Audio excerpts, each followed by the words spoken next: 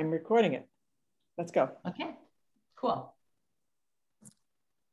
Very good. Hey, hi everyone. My name is Joe Reinke. I've been involved in Lake Harriet for, I don't know, five or six or seven years now.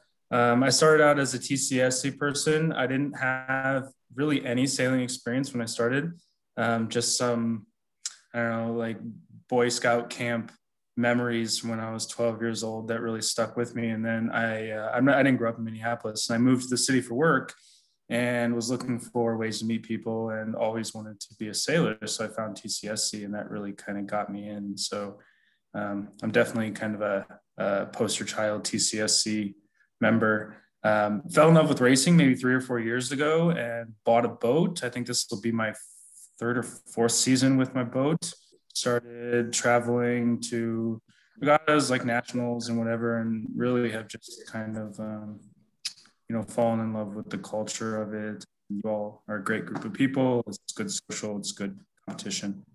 Um, so yeah, that's me. My topic is boat speed fundamentals in the MC. It's the slides are going to be pretty simple. I mean, these are simple concepts, but um, really, I think key to success in our class is being able to make the boat go, you know, at, at the optimal speed in any given condition. And in a lot of ways, until you achieve that base boat speed in any condition, it's very difficult to participate fully um, in a race. So maybe Ryan, if you want to introduce yourself now and share a bit about the topic you plan to talk about. Yep. Uh, so my name's uh, Ryan, and I've been sailing since around age six. Um, and yeah, I've done a bunch of scow racing, uh, X-boat racing, Opti racing, uh, and then college racing too. Um, and uh, yeah, I'm going to talk about uh, starts today.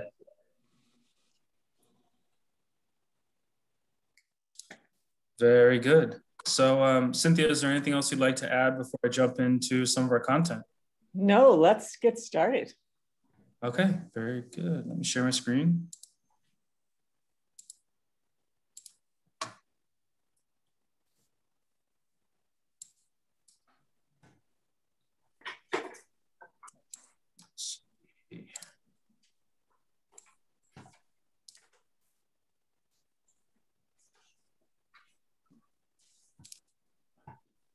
Cool. Can everyone see? Yes. Yes. All right. Very good. So that's the date. Work fun to sail fast. Here's a picture of some racing on Lake Harriet. Uh, it's light wind. I hope to see a lot more wind than this, but um, oh, I got to say about light wind, um, specifically for for um, some of the TCS folks on the call. I used to absolutely hate light wind when I was first starting racing. And that's because all of your mistakes are just magnified and it can be so much more difficult to get your boat up to speed and maintain speed.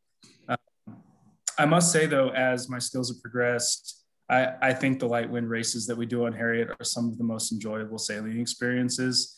No one else races in the conditions we do because we're a flat water lake. Uh, I mean, you know, if we have a confident PRO, steady three to five, sure, let's do it. That doesn't happen anywhere else. it has to be at least five, if not five to seven, for a lot of lakes to sail. So something unique about Lake Harriet, and uh, you know, hopefully, if anyone on the call has a uh, distaste for light wind, I can convince you either now or in the future that it's quite a bit of fun. Okay, fast sailing fundamentals. Right. Um, the MC is is a pretty simple boat, and that's really what makes it such a great boat to to learn sailboat racing in, in my opinion. Um, these four things I have listed here, the way I like to think of them for the purpose of this presentation and kind of in general, boat heel is my kind of metric. It's uh, it's something that I'm considering for feedback all the time. And then my rudder and my main sheet and my body placement are my three primary um, ways of controlling or maintaining the heel of the boat. Um, I think using boat heel as a primary metric works, at least for me, because uh, it's the most comprehensive indicator of whether the whether or not the boat's up to speed in a lot of ways. Uh, this photo is Bill Draheim. He's a guy from Texas who's won several national events. Really nice guy. He has a, a sailmaking company too, and puts out a lot of um, educational content. So there's a website called SailZing, which I'm sure some of you are aware of, that uh, is really quite good as far as um, providing content uh, content for scow racing in general. And a lot of his content is on there too. Uh, one thing you might notice that's missing here is I don't have any mention of any of the kind of secondary sail controls. They're important, like the Vang and the Cunningham and the Traveler and the Outhaul. Um, but I, I think when you're thinking about how do I make my MC move as fast as Ryan Grosh or whoever else, it can be pretty overwhelming. Um, so I'd like to really narrow the focus for the purpose of this conversation to really these three main controls, the rudder, the main sheet, and where you put your body, which I think is pretty intuitive because as you're sitting there in the boat, I mean, you have the tiller in one hand, the sheet in the other hand, and you're either hiked out or in or on the low side. And um, everything else can seem like a distraction. I think it's okay to consider them a distraction a little bit as once when you're getting started and just focus on these things. Um, yeah, so I want to pause maybe maybe first at the top here before we uh, dig into this. Uh, what I'm going to do for the rest of the presentation is just talk a little bit more first about boat heel in general, what optimal is, and and some other factors such as hull steering. Uh, then I'll talk about the best ways to use the rudder and the main sheet and how to use your body. But and how it all comes together to um, to focus on boat speed. But here's, here's Joe talking. Okay. Sorry. Um, thank you. Uh, before I do that, uh, maybe at this top slide, Ryan, do you have any thoughts to add? Uh, nope. I think you're doing great. Okay. How about anyone else? Um, I don't know. I think I saw Darren on the call, some other experienced folks, Jamie Fraser, John Getzinger. You can say no. That's okay.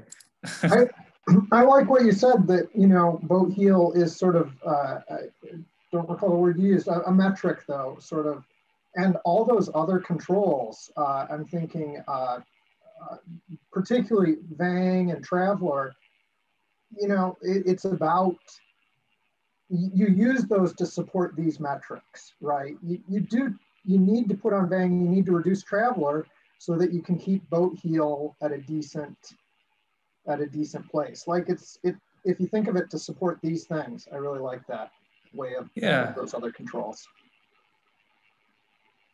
Yeah, that's exactly it. I think that's a good summary. Um, I find it much easier just to think of boat heel as my primary consideration and everything else I'm doing is kind of supporting that when it comes to speed.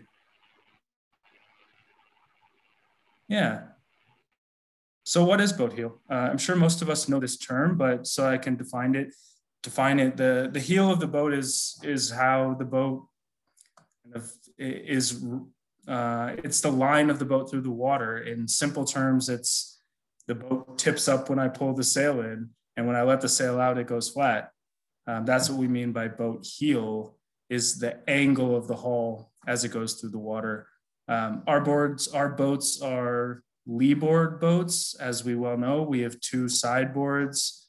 Um, they're angled out, as you can see in this picture to the top right, where it says too cold. You can see that the board is kind of angled out away from um, away from kind of the, the line perpendicular to the bottom of the hull. And for that reason, that really is why we need to have the boat tipped up on the side a bit for optimal efficiency. It's because you want that board to be like vertical into the water for straight line, efficient sailing. Um, so it's about 15 to 20 degrees. Uh, I did mention this. It really is the number one factor for speed. The boat is designed to be sailed at this angle. If you're sailing it flat or you're sailing it too high, um, there are reasons that you want to do that, which I'll get into in a moment. But for straight line speed, if you're not at this 15 to 20 degree angle, you're not really sailing the boat as it was designed, which, which is okay. But for racing, we need to go as fast as we can in any given set of conditions. So it's really quite important.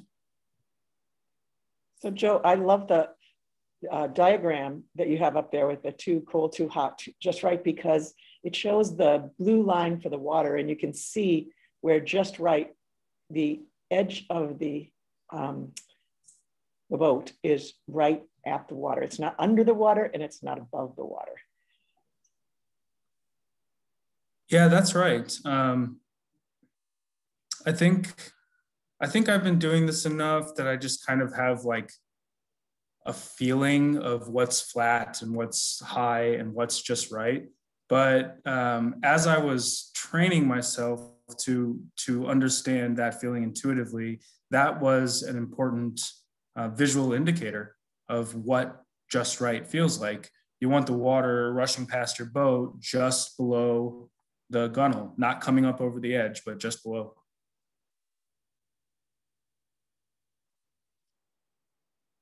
Yeah. Um, I said it's all about the board. I think we can get into some some technicalities here, which I won't talk about too much. Uh, but just for the geeks on the call, your sail is generating aerodynamic lift that off the the leeward side of the sail that is kind of pulling the boat to the side, and there's a, a heeling force which makes the boat want to tip over you use your body to counter your body weight, which we'll talk about shortly, to counteract that heeling force to keep the boat balanced. And that allows the force to be uh, efficiently transitioned actually to the board in the water, which serves as a wing, just like the sail. And that board generates hydrodynamic lift to windward.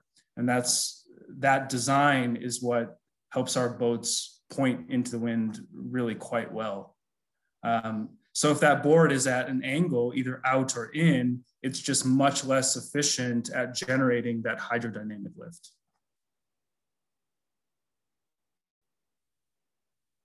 Hmm.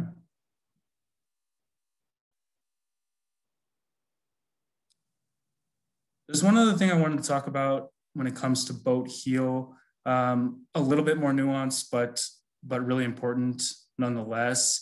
You'll hear the term hull steering, and really that's just the tendency of our boats based on the shape of the hull is when when it's tipped up quite high, you'll notice that the boat rounds up into the wind.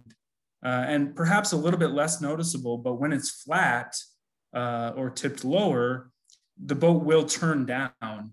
Um, this is probably most noticeable when you get hit with a big puff on the lake and the boat heels up really hard and wants to round up into the wind and you have to drop air out of your main or, or hike quite hard to keep it from doing that.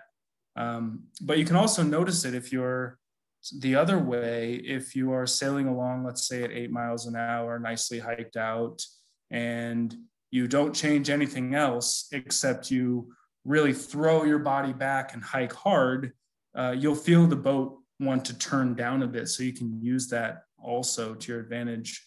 Um, one, one important application of this that I find is when we're going through attack, you want to, you, and we'll talk about rudder usage here in a moment, but um, I really want to keep my rudder as, as neutral as possible. So I do everything I can to encourage the boat to smoothly round up into the wind so that I can just kind of nudge the tiller a bit to get through the eye of the wind onto the other tack.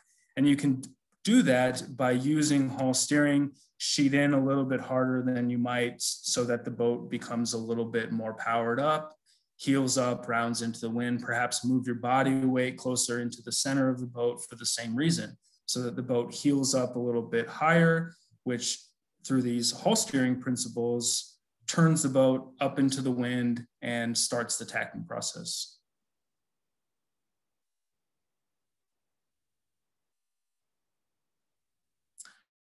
Um, I'm sure some of you uh, know this term. Maybe a question for those that are a bit less experienced. Have you ever heard this term hull steering? Is it confusing? And does my um, does my commentary here clear things up, or does anyone have any questions?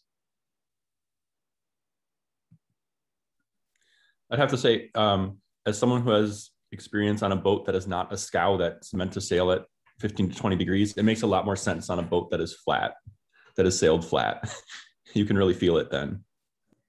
I think that's a key point, Justin. You're right. And um, for those of you who have any experience in college sailing uh, on 420s, this is a very important and uh, widely used principle.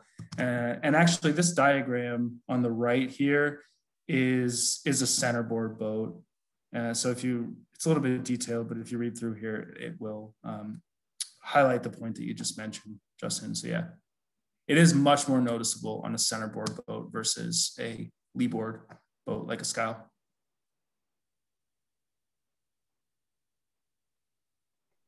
Yeah.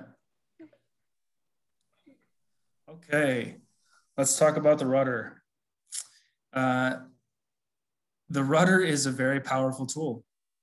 Um, it you can turn very sharply on an MC. The MC is a very maneuverable boat. You can see just how big the rudder is in comparison to the boat down here. Um, just for for information, uh, some of you may know what an e-scow looks like. An e-scow has dual rudders, but the rudders are only about this big. They're like the size of a shoebox or a little bit bigger and our little MC Scow rudders are almost double the size, um, which makes our boats incredibly maneuverable. You can really turn on a dime in an MC. Um, one thing to remember though is because there's so much surface area on that rudder, if you turn it hard to the side, it's like slamming on the rear brakes on your bike. I mean, you really slow down quite a bit. Uh, so yes, we need to turn hard sometimes to avoid a collision, to, uh, yeah, I don't know, for some other tactical reason, but really smooth and neutral is the goal whenever possible, especially when sailing straight and you're trying to sail fast. You don't want to have to feel a lot of pressure on the rudder. And if you have everything else balanced correctly, which we'll talk about here in a moment with the main sheet and your body placement and the other sail controls, in most circumstances, now if it's very heavy, maybe that's different, but in most circumstances, it is possible to neutralize the weather helm. And that really should be the goal. Hey, this is this is Ryan here. Yeah, I will say you want to try to neutralize the helm as as much as possible, but you do want like a, a slight amount of helm. Um, but uh, because a lot of times when you're heeled up, you're going to have a little helm. You're always kind of working to neutralize it a little bit. But uh, if it is completely neutral, then that's actually uh, not good um, because then you might be like fall off the wind a little bit and not be pointing as high as you can be. So I always like to have just like a slight amount of helm um, but usually, a lot of times you have too much. So you got to think about that. Hmm. Yeah, maybe to expand on that a little bit, Ryan. Um, I think what I heard you say is if the neutral, if the helm is completely neutral, you might be. So you're sailing close hauled, but you might not really be edging up closer to the wind as much as you could be, or perhaps your boat isn't quite as powered up as it could be your sails out or, or something like this uh, is that is that kind of what you mean yep yeah you might not be uh, like pointing as high as you could be um because say if you get like a, a lift and you're sailing straight with a neutral neutral helm, you might not be able to sense that you can actually point higher and that you actually got the lift. Hmm. Okay, no, that makes sense. So, so we want the boat to be pulling a little bit into the wind because that allows us to know that we're sailing as close to the wind as possible. I think, in simple terms. Yep. But yeah, it's it's a very very slight amount. So neutral, but on the side of a little bit more helm. Okay. And that's that pulling force that pulls your boat into the wind when you're sailing upwind. And that you can feel that helm by the pull on your rudder. Right. Yeah, I'm sure a lot of us have, have experienced that. And I think the comment you made earlier is, is important too, that most of the time we're feeling a lot more weather helm than we need to be. I mean, if the boat is in this too hot position and you're feeling a lot of weather helm, that's not that's not a fast way to sail the boat. So we need to do other things to bring our heel back to this just right position so that we can reduce our helm to that kind of slight pull that we're speaking of now.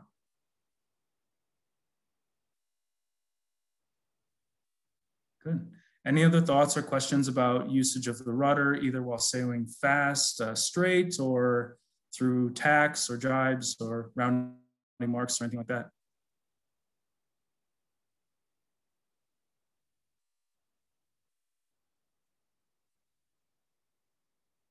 Good. Next one, main sheet. We've talked about this a little bit, but um, this is exactly what we mentioned a moment ago. Don't fight the rudder, ease the main. So you can see this person is sailing too hot. They're, the edge of their boat is dug into the water. Their board is not at an optimal angle. Their sail is in all the way, which is good for generating power. But as we can see, too much power has been generated and we have a lot of weather helm. This person has to apply a lot of pressure to the tiller um, to keep the boat from rounding up immediately into the wind.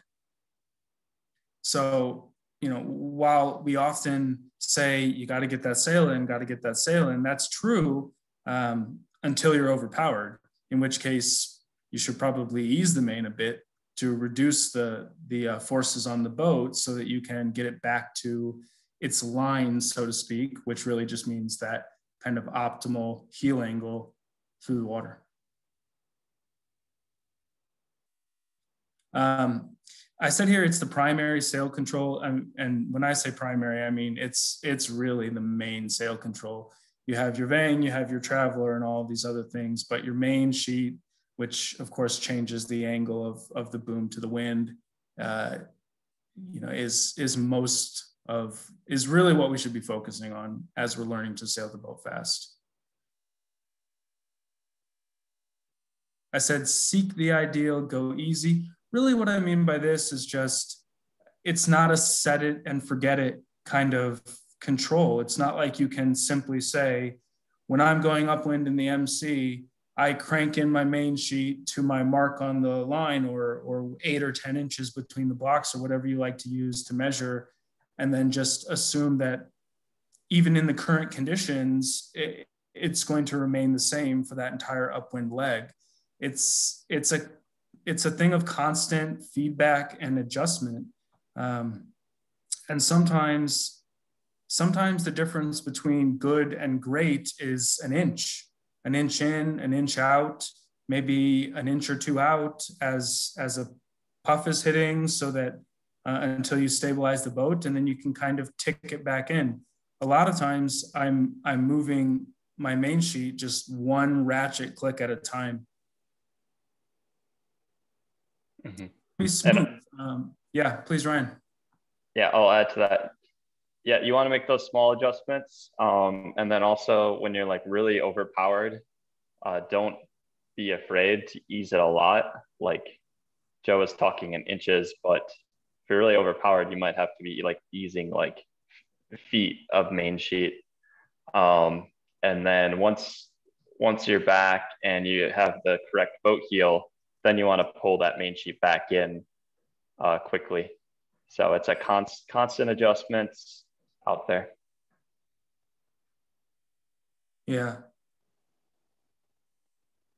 Yeah, that's a good point. Uh, um, it is small adjustments from time to time, but also, yeah, if you, I mean, we're all taught when we learn to sail that if you if you're going to tip over, dump the main. And while in a race you probably never want to entirely let go of your main sheet, as Ryan said, giving out you know two or three or four feet, I mean, even to the edge of the boom is you know out over the corner of your boat, is not something to be avoided necessarily. I mean, if you get hit with a lot more wind than you were expecting, it's not going to to really hurt your speed too much. In fact, it's probably better for your speed to just let it out so that your boat doesn't dig in and you end up rounding up into the wind, which really will slow you down quickly. It's much better to just ease the pressure and then pull it back in, you know, as quickly as you can to to a point that um,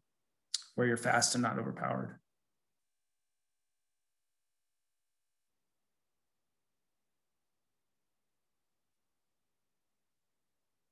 Mm-hmm.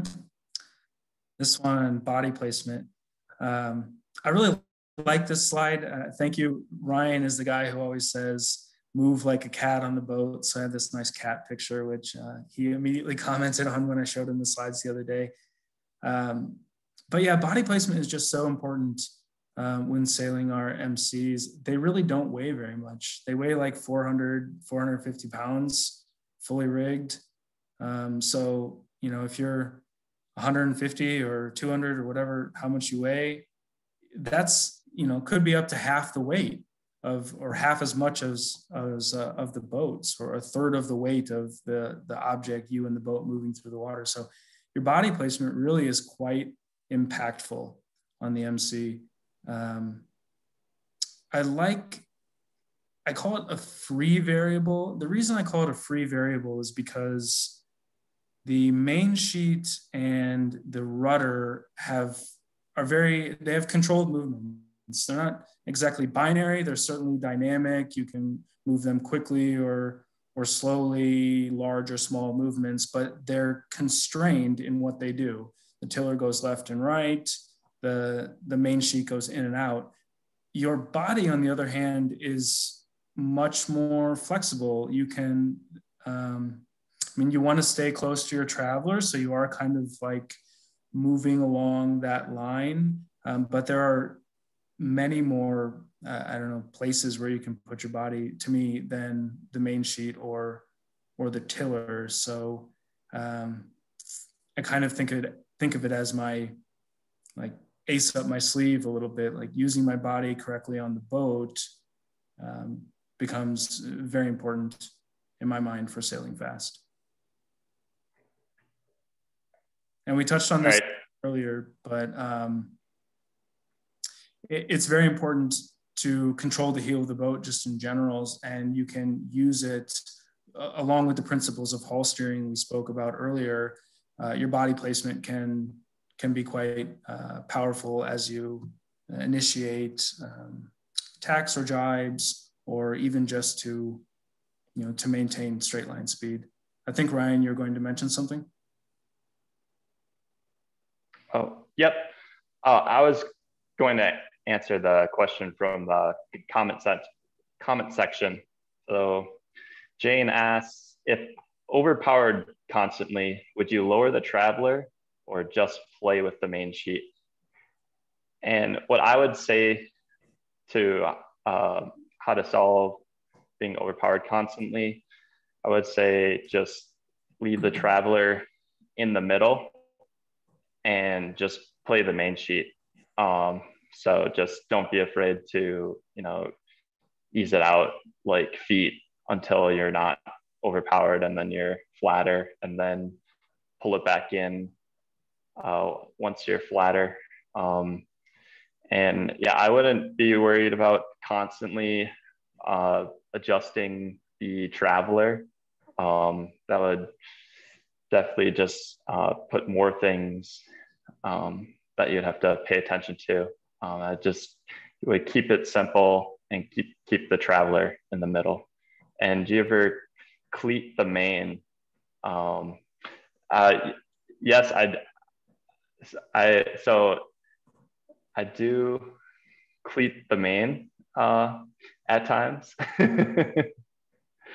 um, so, um, and that, oh, in situations where I cleat the main is is in a unique situation um, where it's like super windy and I probably need a crew, but I don't have a crew.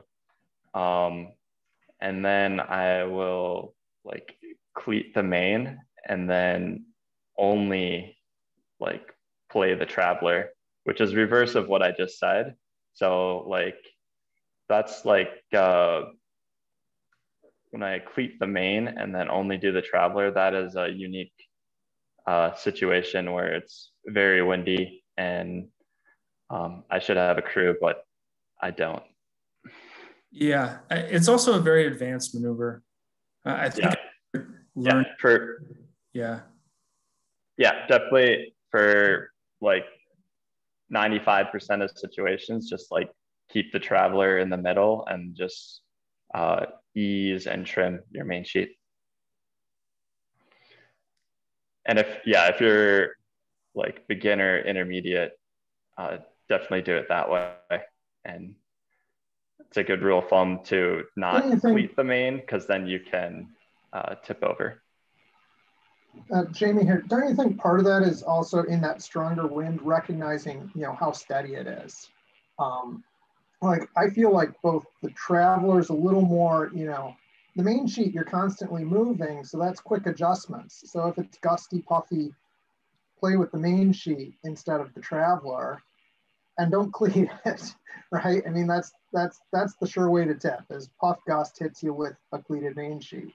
Um, but if you've got, I mean, there is steady heavy wind occasionally, but more likely it's so that's where I think about the traveler. Hey, I'm constantly overpowered. Put the traveler down a bit, and then still play the main sheet. Whereas if I'm only occasionally overpowered, I don't really you know, the traveler gets adjusted maybe three, four, I don't know. And I'm curious to hear other people's opinions. Maybe three or four times on an upwind leg, or maybe 10 times the traveler gets adjusted on an upwind leg in heavy wind. But the main sheet, hundred, a thousand times on an upwind leg.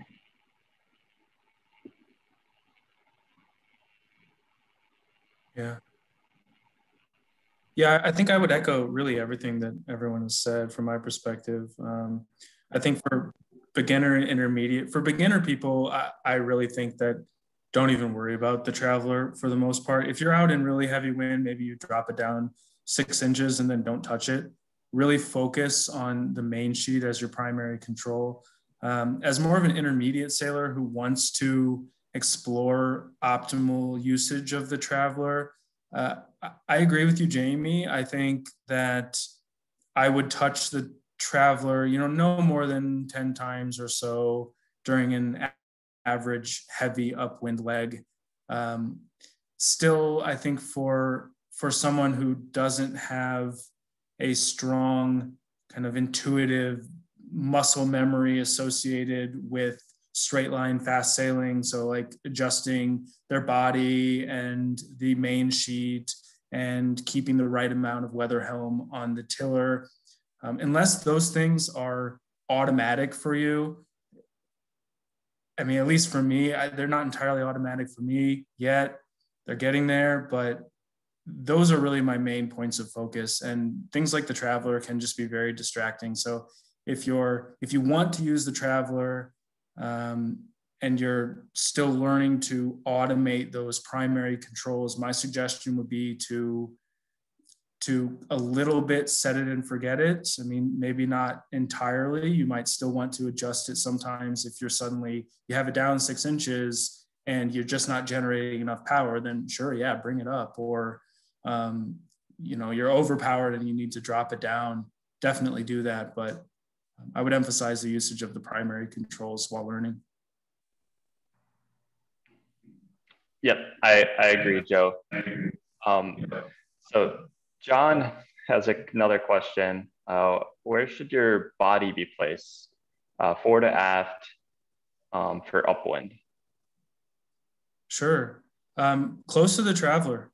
I, I try to sit very kind of square, like square hips, square shoulders, square knees, try to keep my legs together a little bit and elbows in a little bit tight and have this kind of and if anyone was on the call with uh, Bill Colburn a couple weeks ago, he mentioned this a little bit too. He said, I mean, look at a YouTube video of what a professional sailor looks like, like a, even like a laser sailor or someone. They're just very controlled and um, kind of compact in how they put their body on the boat. And I think we want to do the same thing in our MCs. You want to sit close to the traveler bar, um, square to the boat with your hands like this, tiller, main sheet, and then hike out straight out, um, straight out behind you. Mm-hmm. Yep. And then he also asked downwind and reaching, and I would say for downwind and reaching, it's it's the same spot. Um, you're always sitting right next to the, the traveler bar.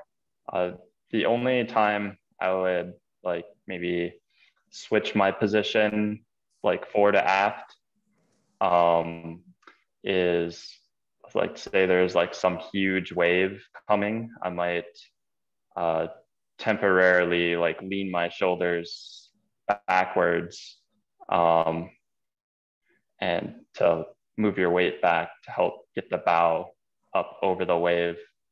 Um, but on Harriet, there there are no waves, so that's only a technique that you might use at uh, Clear Lake in Iowa.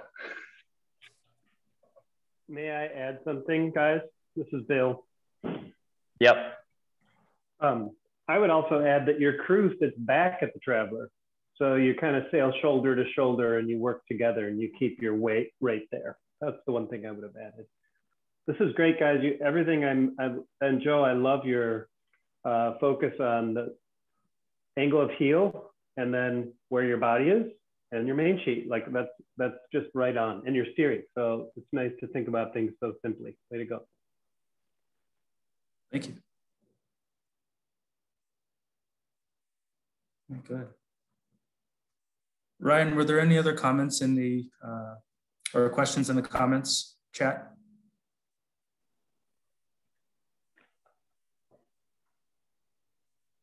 Um, no, I think I think that we're good.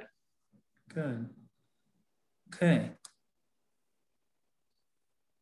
So the final slide here, I said elements in practice. These are all the same things that we've been talking about. We we maintain, or for me, I think about maintaining my heel as my primary source of feedback, primary metric. Um, when overpowered, we remember to use our main sheet more than our rudder. Uh, we try to neutralize the helm on our rudder, almost neutralize, not quite as Ryan mentioned. We want just a little bit of pull so that we know that we're sailing as close to the wind as we can when going upwind. Um, but if we're, we're heavy, heavily overloaded with power, much better to get in the practice of depowering using the main sheet to maintain that optimal heel angle instead of having to you know, pull down quite hard on the rudder to keep the boat from rounding up into the wind. Um, similarly, we should use our bodies um, really quite a lot when sailing the boat. You, you hike out hard to um, be able to keep the boat flat and keep it from rounding up so that you can keep the sail in tight and uh, generate as much force as, as you can sustain in balance. Um, you might also use your body for other things like uh, I mentioned earlier, uh, you might use your body in, in coordination with the hull steering principles to begin or to initiate attack through the wind while going upwind. Um, when it's light wind, you might need to use your body all the way on the low side because even in light wind, when there's not enough pressure from the wind to, to achieve that 15 to 20 degrees upwind sailing heel angle, you might need to kind of just force the boat to do that by moving your body weight over to the low side um, to bring to bring it up to that 15 to 20 degrees. So, um, so I like to say your body is the free variable. You can do it's very dynamic and flexible, and I would encourage everyone to move frequently, uh, maybe not frequently, but um, to consider the placement of your body as an important part of maintaining heel angle and uh, maintaining optimal speed in the MC. The last thing I put on here is a kind of modified uh, common acronym that we all know. Many of us have heard the term ease, hike, trim. Uh, generally, that refers to when you're going upwind and you you uh, start to feel a little bit overpowered the order of operations just like we've been talking about you use your main sheet to depower um, and you use your main sheet to depower instead of the rudder because you don't want to let the boat go right up into the wind you don't want to fight the rudder and also usually it happens too quickly for you to be able to hike hard with your body and um, prevent the negative outcomes such as the boat rounding up quickly into the wind. So, so to immediately depower, you can use the main sheet, ease the main sheet. Then you can adjust your body placement. That's what we mean by hiking. Perhaps you you go out a little bit further, you engage those abs and um, and hike hard, and then you can kind of ease the main sheet back in um, to to begin to generate a little bit more power or recover some of the power that you lost through that um, easing process. But it is much better to, as Ryan mentioned earlier, it is much better to dump even a couple feet of main sheet to prevent the boat from getting tipped over too much or rounding up quickly into the wind. And that will be much faster, assuming you pull it in fairly quickly once you're under control than, um, than using the rudder or letting the boat go into the wind. And the last thing I have here on this list is, is boat heel. So uh, to me, this is just a reminder that we, our order of operations is ease, hike, trim, um, and then we're immediately focus back on, am I at an optimal heel? Um, and then also, are we in a good uh, are we sailing at a good angle to the wind? So maybe we've reacted to high pressure and it hits us quickly and we have to ease, hike, trim. But now once we trim back in, um, perhaps the wind moved a little bit to one side or we're going a little bit faster. So we can actually potentially point one or two or three degrees higher than we were previously. Uh, so we do want to pay attention also to our uh, kind of angle, our heading. And Ryan, maybe I'll ask you to jump in and share what this acronym means to you as well. Okay. Yep. Yep. I I modified it and added the boat heel. So yeah, what I mean about that is okay. So you're feeling overpowered. So step one is like ease out the main sheet. Um, step two would be so you're going to be feeling a lot of like weather helm. Uh, so step two is going to be like let the boat like round up and point into the wind a little bit more. You're going to have a lot of speed and power. So you're going to be able to point a little bit higher, especially on Lake Harriet where um, where there are no waves. Um, pointing higher is a lot uh, lot easier. Um, so and then but once you start pointing more in more into the wind, uh, then you're going to start to slow down, um, and your boat's going to start to flatten out once you're pointing more into the wind. Um, so once your boat's more flattened, step three is going to be pull your main sheet back in, um, and then also step three, as you pull your main sheet back in, start like hiking harder than you were because you're going to want to use your body weight to turn the boat away from the wind because um, you just were pointing more into the wind to depower. So now once you start to slow down, you want to start to point more away from the wind and you can use your body and hike hard to kind of pull away from the wind and sail lower angle. Um, so when I think about ease hike trim, I also think about how can I use uh, my boat heel through that process uh, to assist with uh, depowering.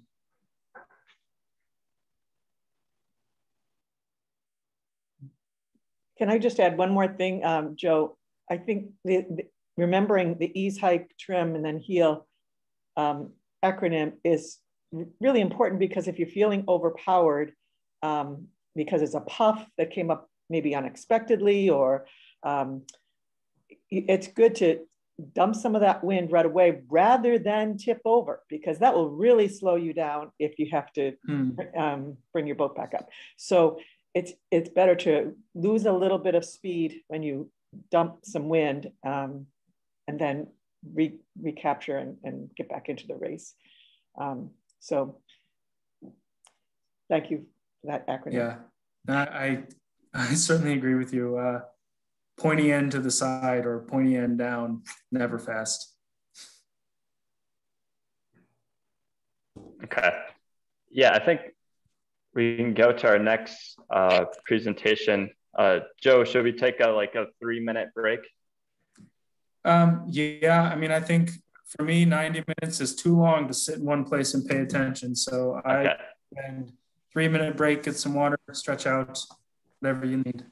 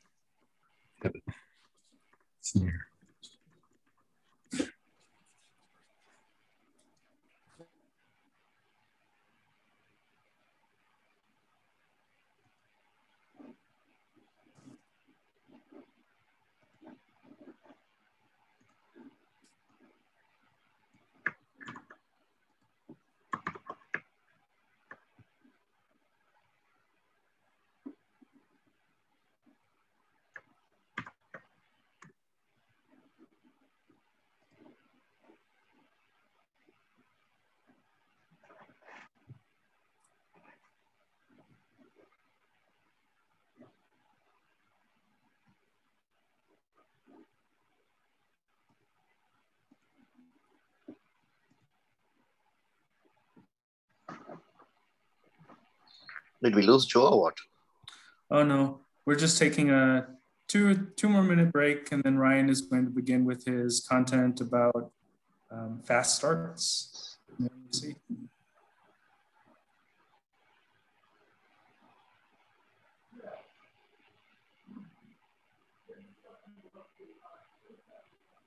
Paul, you, you asked, will we be talking about boat speed on a downwind leg?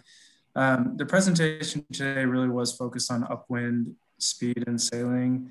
Uh, I didn't really touch on downwind, but I think that's a uh, potential topic for the future. So I appreciate your question.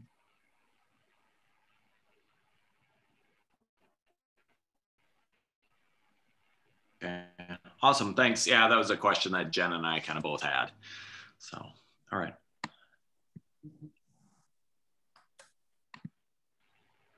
Yeah, Joe, when I'm presenting here, let me know if questions come through the chat. Yeah, sure. Thank you for jumping on that and doing that while I was speaking. I meant to ask, but um, you were on it, so I'll do the same for you. Happy to. Okay. All right. Was that three minutes? I think so. Okay. All right. So I'm Ryan, um, and today or for the second half, we're going to talk about starts.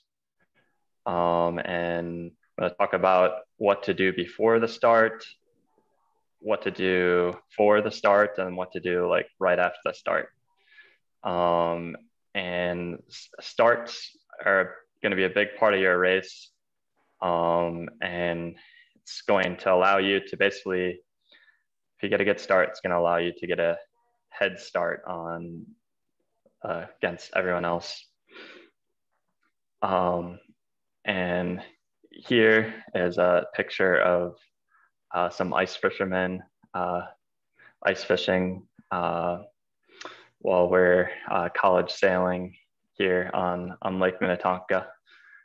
Um, and luckily this year, uh, we have already all the ice is melted and we have the lake ready for us uh, to get started in racing out there. Um, and I'm going to skip over this first part, um, but this is a checklist uh, for you. Basically, the theme is um, just make sure that you are prepared uh, before the start um, start of the race, and just make sure you um, have the checklist and that you make sure you have everything um, so you're not distracted um, when you're out there during the race.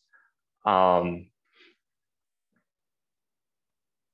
okay, so I would recommend that uh, that you get out there um, at least like start get out there and start sailing around like an hour before the race. Um, I will admit admit that I'm not always out there like an hour before the race sailing around. Um, but uh, the more more time uh, you can give yourself uh, for sailing around before the race, um, the, the better that you will do. Um, and the reason is, is what I'm going to talk about right now. Um, and so before the start of the race, you want to be able to recognize the patterns in the wind. So when you get on that first windward leg, you know exactly what the wind's doing. Um, so this is what I will do like before the start of a race. Um, and I will sail upwind on one tack and um, say starboard tack right here. And um, can you see my mouse? Is this, or can you not see my mouse? Uh, we, I can, it's a little tiny, but I can see it. Okay, okay. I'll just, just start drawing. So here, I'll sail upwind on starboard tack. And so here is like a, a lifted tack because the angle is pointing more towards the marks than this other angle. So say you might, the wind might shift and you might get knocked and then you might sail like a, a little bit worse angle um, that's not pointing at the uh, windward marks up here as much. Um, and then if you might get lifted on the starboard tack before the race. So you're trying to remember what the good angles are and what the bad angles are um, when you're sailing upwind. Um, so if you remember these angles, then you can remember when you're on that first windward leg during the race, you can remember, okay, I'm on a good angle. I should keep going. Like this is a good angle. Or if you're on starboard tack during the race and you're on this angle, that means that you should tack because it's it's a not as good angle. Um,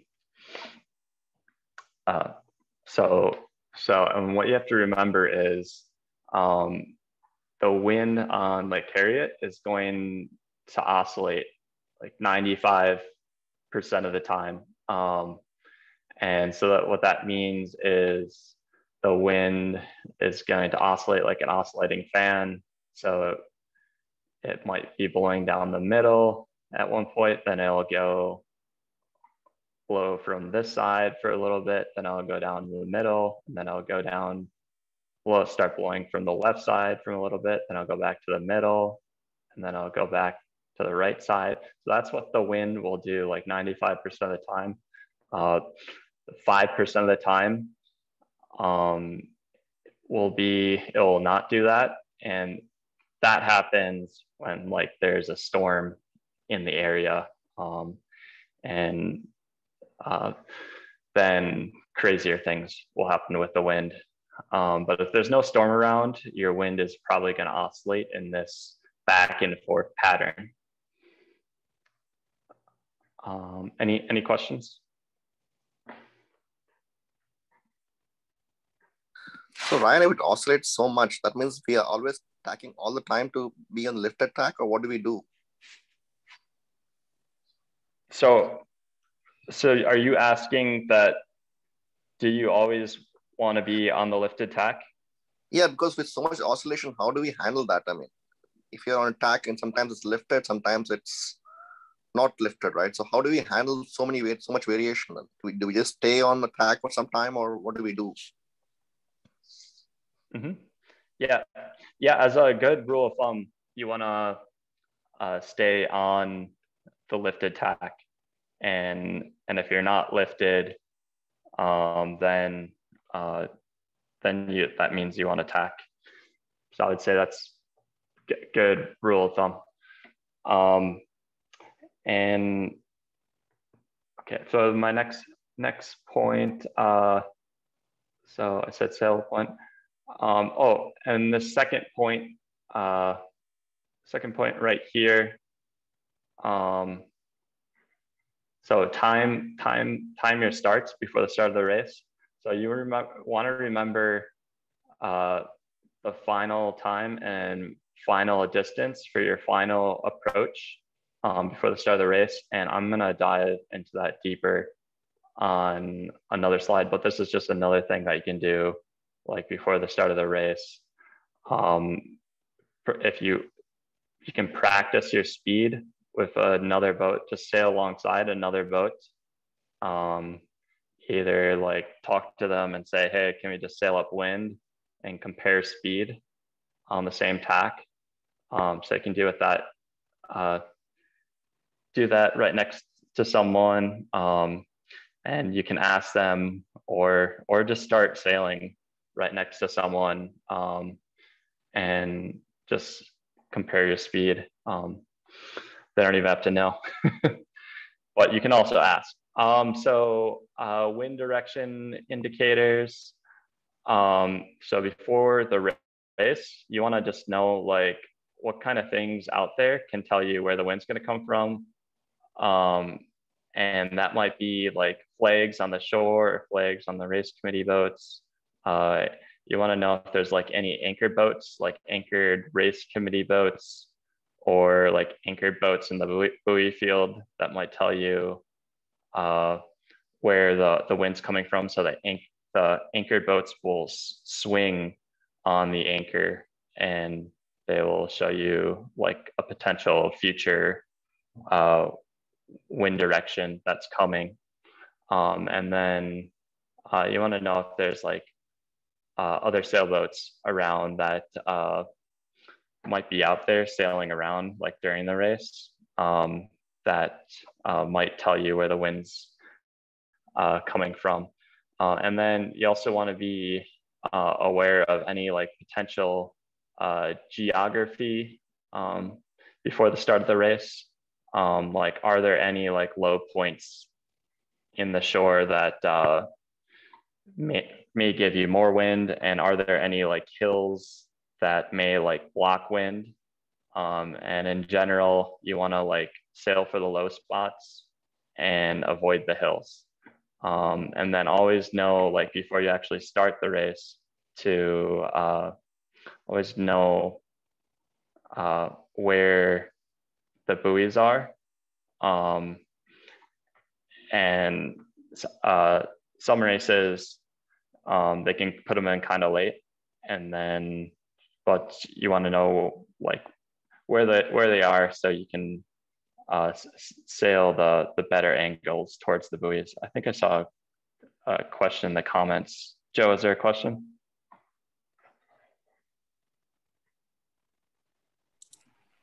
That was me. I'm sorry. Actually more of a statement from jamie i think. Yeah. Okay. No question. Okay.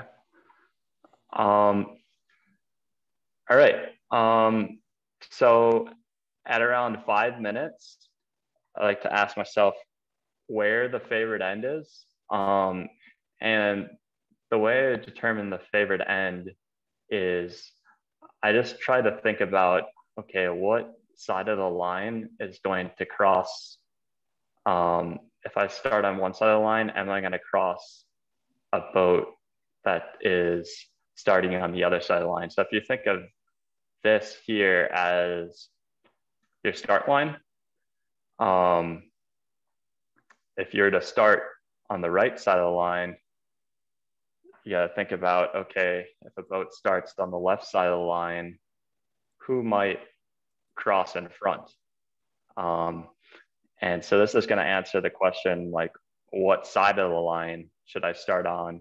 Um, and you want to have that answered like before the race starts.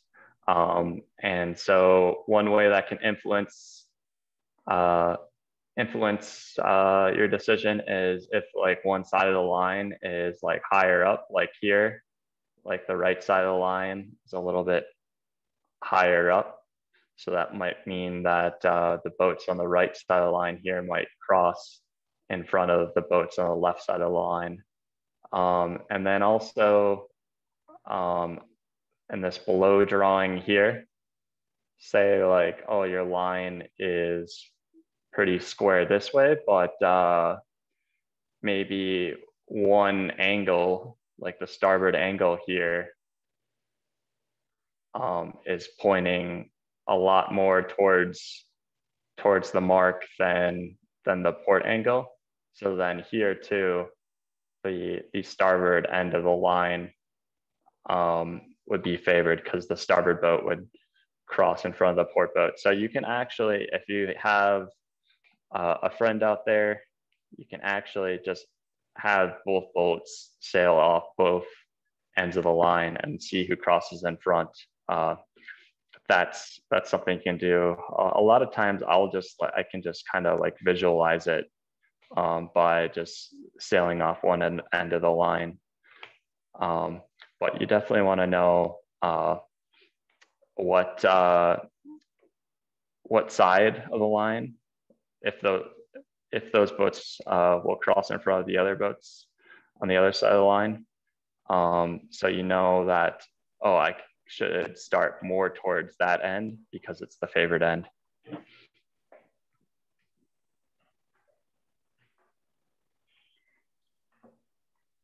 Does anyone have any questions?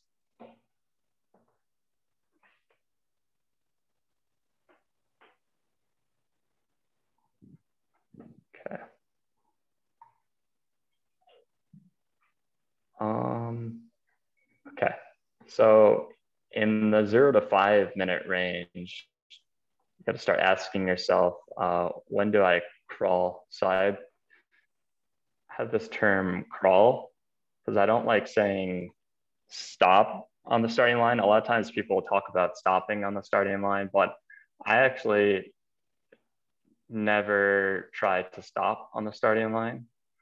Um, and what I'll do is I'll basically stop, essentially stop, but I'll always try to be moving as slowly forward as possible. So it might look like I'm stopped, but I'm always trying to just move slowly forward. Um, because once you're completely stopped, then you're going to lose your steering ability and you might start to like go backwards and then you're going to get yourself into trouble that way. So always try to like uh, always try to crawl which is basically like stopped but moving um, as slow as you can forwards. Um, and then i have here is basically a rough guide at when you want to start uh, sprinting towards the line um, which is basically like you're uh, when you're going full speed um, at the start. Um, and these are just some numbers that are a rough guide. Basically, if there's more wind, you're going to start going at full speed, maybe like with less than eight seconds. Um, and if there's only like five miles an hour of wind, you may want to be going at full speed at like 20 to 40 seconds. Um, these are really rough numbers. Um, so you're going to want to actually uh, test this out before the start of the race and know, okay, how long does it take me to get up to full speed? Like, is it eight seconds or is it like 20 seconds? Um, and you can actually test that before the start of the race. Uh, and you test it by just practicing it a couple times. Yeah, I think and on your first slide, you have a point about time and distance um, in that five to 60 minutes before the race. And to me, that's the prep for, for what you're talking about right here. That practicing that uh, crawling up to the line and how long does it take me to get up to full speed and how far back from the line do I need to be? Um, that can to me that can be very uh, um, ambiguous and intimidating when first starting but i think by just mocking it up as you suggest before the sequence starts we can have a good sense for the in these conditions time and distance. How far away do i need to be and when should i pull in my sail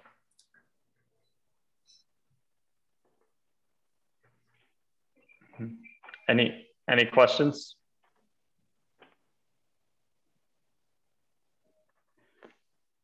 Okay. Um, so next question is like, where, where do I crawl? Um, and so I think this is a really important point because uh, I see this mistake a lot um, with both beginners and advanced people.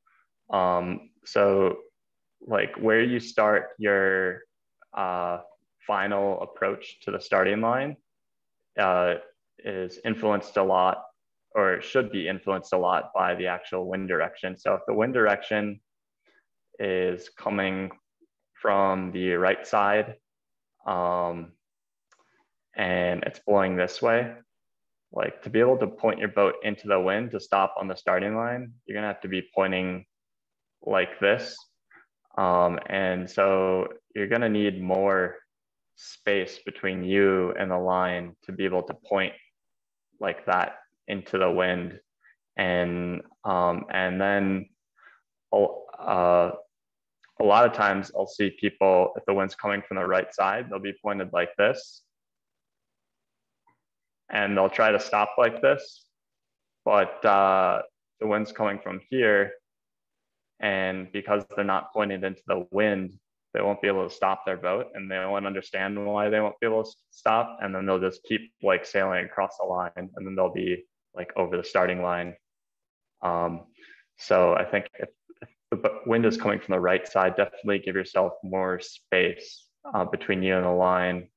And then if it is, the wind is coming down the middle, um, then you need a little bit less space. And then if the wind is coming from the left side, you want to be a lot closer to the starting line um, when you start your final approach and start accelerating uh, because it's going to be a lot harder to cross the line. It's going to take you like longer to cross the line.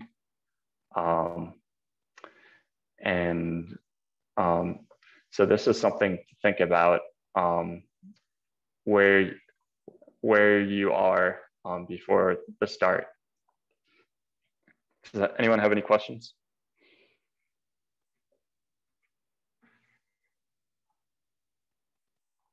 For, for this, this reason, when the wind uh, comes from the right side here, like uh, you'll get a lot of general recalls and you'll have to do a lot of restarts um, because people will just like sail right across the line because they won't be able to stop their boat because they won't be pointed into the wind and because they'll be set up like too close to the line. Um, so if you're getting a lot of general recalls, like the wind is probably coming from the right side.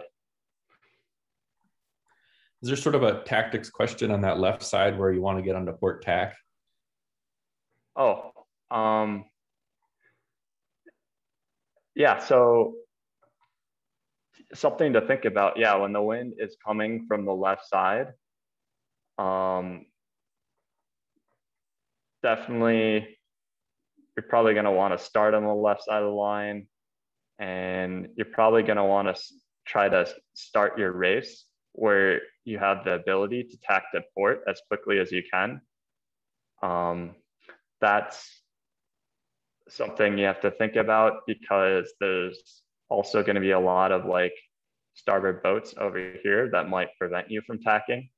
Um, so um, I, when the wind's like this, I always try to like not have a, a boat that a starboard boat like right next to me that might prevent me from tacking as soon as I can. Um, that doesn't always, I can't always prevent a, a starboard boat from being right there, but uh, I try to get like a hole, almost a hole to windward of me so I can tack as soon as I can onto port.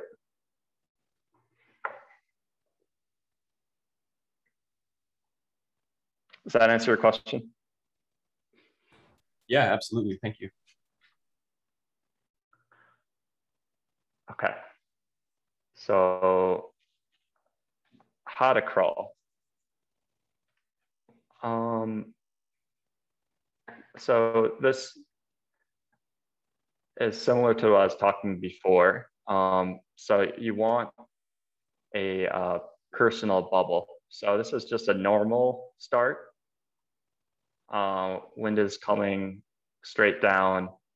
You want to have a personal bubble around your boat and create some, have some space if, if possible.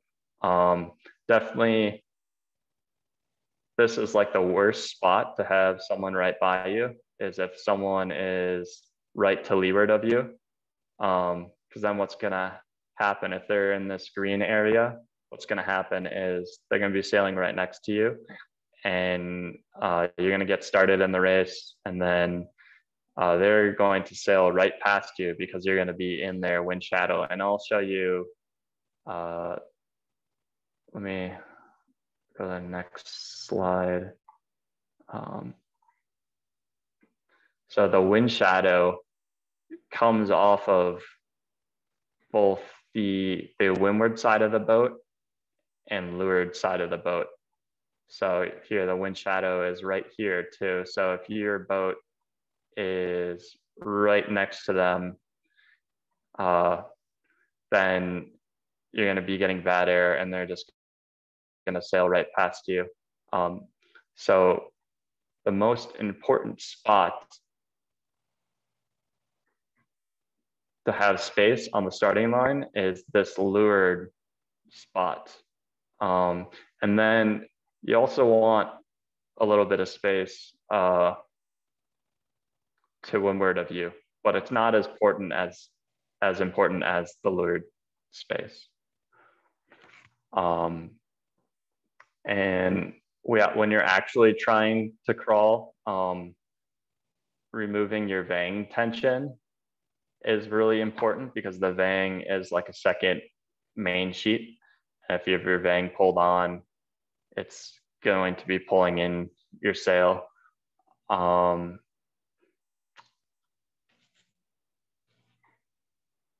okay. Any any questions?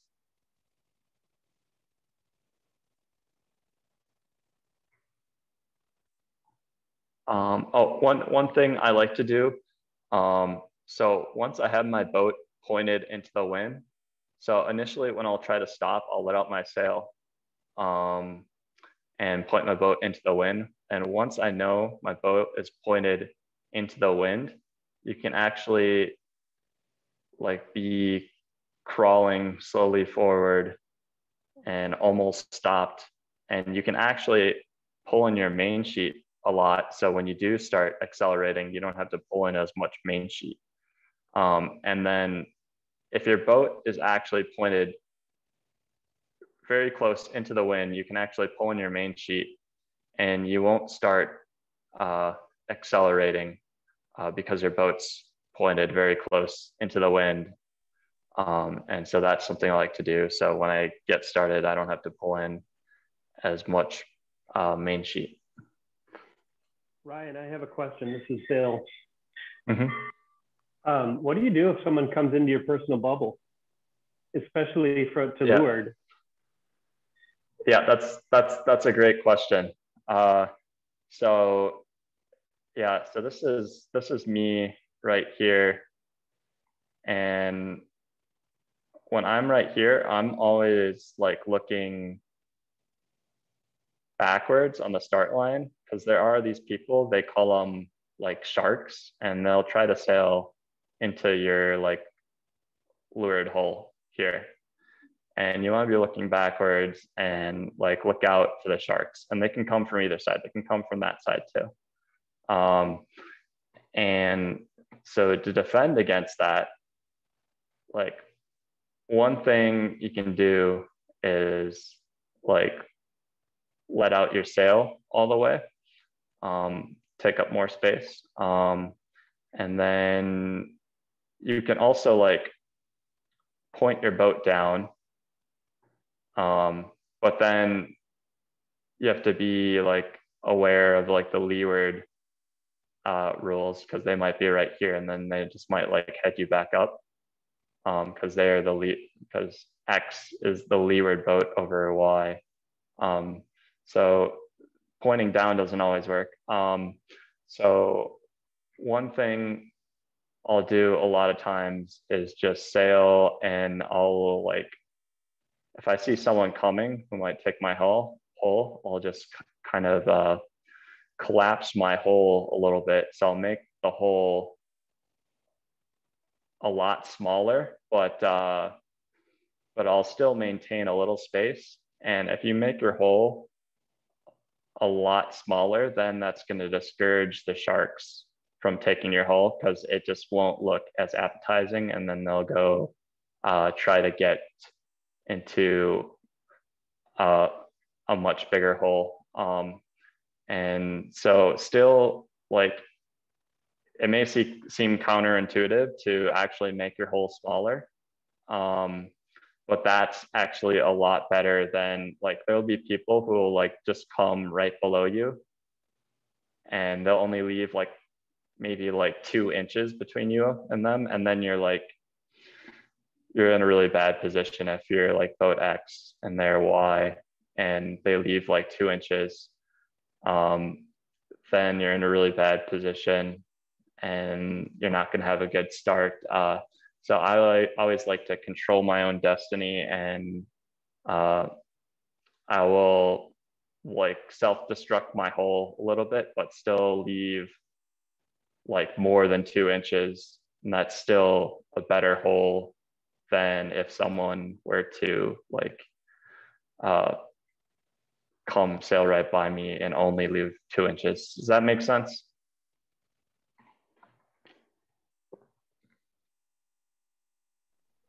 Thank you, Ryan. That was awesome. Collapse, collapse, collapse the bubble. Yeah, and a lot of times after you, this is where like boat handling comes in. After you collapse your hull, and then they do sail by. If you have good boat handling, then you can start to like say you collapse the hole, they sail right by, and then no one else is going to take your hole. You can start to like really like pinch and really try to hold your boat in one spot. And then hopefully this leeward boat here is not good at boat handling. Hopefully they like drift down the line more and then the hole opens back up. Um, so um, that can happen too. All right.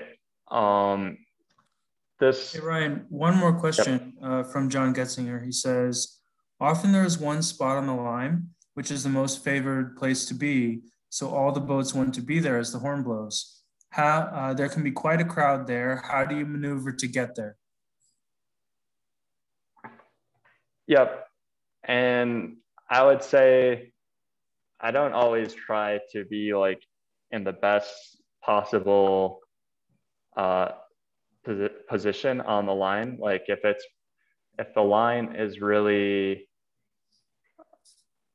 starboard favored, I don't always try to be this, uh, like say this is, this is the starboard favored line right here. I don't always try to be right at the starboard side um, because it's really competitive over there. So if, if the line is starboard favored, then I will try to start on the right half of the line or the right third of the line. Um, and uh, so I just try to stay near the line and then uh, that gives me more options of where I can start and I don't have to compete for the best spot on the line. I'll also say that um, this decision where you start on the line um, is going to be a lot more important if it's a really big line and a really big, and then you have a lot of competitors. Um, where you start on the line is going to matter a lot more. So if you're sailing at Clear Lake, Iowa, with 70 competitors, um, then where you start in the starting line is going to matter a lot more. Um, and if you're on Lake Harriet, um, the favorite end uh, in a small fleet um, on a weekend race is not going to matter as, as much. Um, so definitely like try to start in general, I'd say start, try to start uh, near the favorite end. Um, but you don't have to be like the winner of the line every time. Um, and here, let's talk about uh, body weight um, steering. So I'm always thinking about like when I'm crawling, so um, crawling again is stopped, but moving as slowly as possible forward. Um, I try to think about where my body is in the boat. So if I'm really trying to like stop hard while I'm slowly moving forward, I'll put my body more towards the low side on the boat. And this is going to help drive the boat into the wind and they'll help me like stay stopped on the starting line. Um, and then when I do start to want to start accelerating, um, and if you need a, if you're like really pointed into the wind, uh, one thing you can do um, to pull your boat away from the wind is like be on the high side and that'll help turn your boat away from the wind um, so you can start accelerating. Um, so that's uh, how you can think about using your body um, while, while stopped on the starting line. Um, and so this is your like your final final approach. And I talked about like your final time and your final distance. So you want to practice this before the start of the race. So you know exactly, say like if it's 10 miles an hour with wind, um, then you'll probably need to get going at around eight seconds. Um, and you might need like one or two boat lengths to uh, for your final uh, final distance here. Um, but these things are going to change based on the wind conditions. Um, so you want to practice accelerating uh, so you know how much time you need to accelerate and how much distance you need to ac accelerate. Um, I also try to um, know, I try to like gauge how far away from the line I am um, by, I try to look under my boom um, at the buoy and at the flag, like while I'm stopped at the starting line um, to try to gauge my distance um, from the line. And I try to do that pretty early because if you do that, uh, and then if it's very close to the start, then there's going to be some boats that are blocking your view. So I try to like um, try to get set up and crawling on the line at around one minute is a good rule of thumb, but that's also going to change on the conditions. Um, and then for my final approach, um, I'll turn away from the wind and then I'll start sailing close hauled at full speed. Um, and I'll try to, knowing my final time and distance, I'll get started exactly at that time, should be like eight seconds in normal conditions, and then be the perfect distance away, which would be like maybe like one or two boat lengths, and then just get going uh, for the start. Um, and then after the start, uh, just you know want to avoid wind shadows, um, like you see here. So try to stay out of other people's bad air that's coming off their sails and try to maintain your lane of clean air right here is the ideal. All right, any, any questions?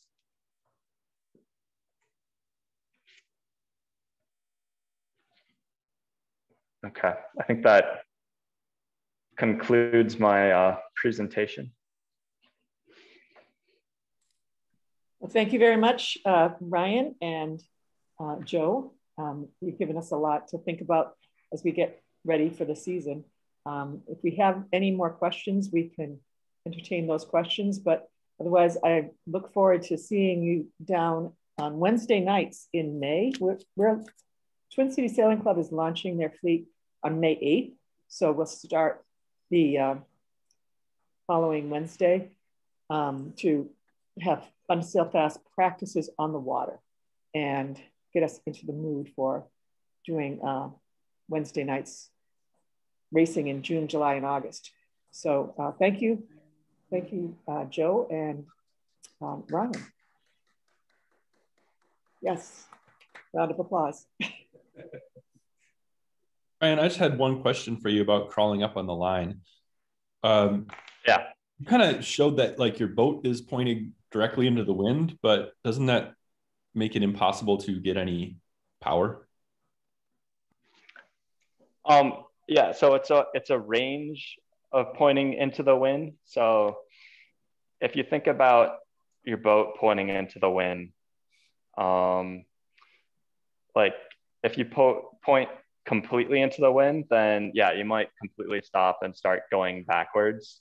Uh, and you don't want that, but it's more of a range of like the more you point your boat into the wind, like the harder you will stop.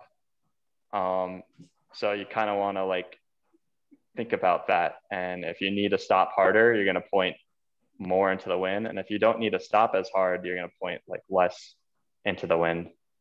So it's kind of like how hard you slam on the brakes. Um, if you really need to slam on the brakes, you'll like point directly into the wind. And if you don't need to, then you won't point into the wind as much. Does that make sense? Yeah, I think I, I've just found it. You don't want to be pointing right in the wind at the point where you're losing steerage, right? Yeah, well, it depends how much speed you have. So uh, if you really need to stop fast, you might point directly into the wind for a little bit. Um, Thank you. mm-hmm.